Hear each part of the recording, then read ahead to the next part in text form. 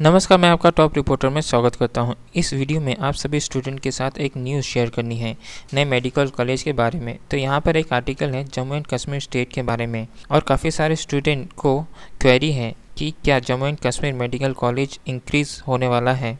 अगर नए medical college इस साल शुरू होंगे तो उनमें सीट्स कितनी रहेगी? तो ये सभी क्वेश्चन के आंसर मैं आपको इस वीडियो में दूँगा। सबसे पहली बात यह है कि पाँच नए मेडिकल कॉलेज का कंस्ट्रक्शन कंप्लीट होने आया है जम्मू एंड कश्मीर में। अब यह पाँच मेडिकल कॉलेज में हर कॉलेज में सौ एम की सीट रहेगी। यानी टोटल जो है इस साल पाँच सौ सीट्स इंक्रीज होने के चांसेस हैं जम्मू एंड कश्मीर के स्टेट में।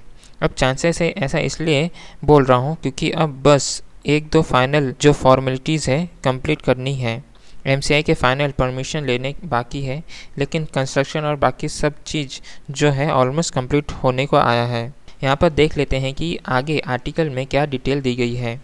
तो ये आर्टिकल में लिखा है a head of the M C upcoming visit to the Jammu and Kashmir the state government has filling up the key position of senior faculties through lateral entries and academic arrangement in the five new medical college even as the other basic minimum standard for human resource are being address on fast track यानी अभी जो है M का approval होने को आया है।